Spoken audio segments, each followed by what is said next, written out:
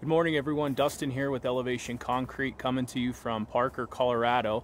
Here we're uh, just about to get the concrete installed for this hydronic heating system on this driveway. We uh, worked with Steel Brothers Heating and Air Conditioning on this. They've got the, uh, the whole system linked up and just want to show you what we got going on over here. So here we see the full driveway. We've got a nice little curbing here, the wire mesh. You'll notice there's an area that the client is not heating. We do have the insulated barrier overlapping into that section just to allow for a little radiant heat to push over. Those white lines you see on the wire mesh are the three quarter inch PEX line. That runs into the garage with a garage floor cut that we do and that moves over to the manifold system. Steel Brothers HVAC is who we work with on these guys. They do great work. They've got this hooked up to a 200,000 BTU boiler. That thing's gonna put off some serious heat on this driveway.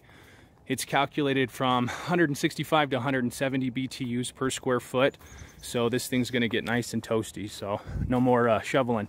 You'll see here on the wire mesh and our grading lines, our grading stakes, that we've got this set at a five inch thick pour. We do five inch standard on these radiant systems to accommodate for the gap voids that we see within the PEX line. Even though they are pressurized with the glycol system, it's just good protocol to do that. Um, we also include the Fiber Force 150 to reduce shrinkage cracks and create a less permeable surface.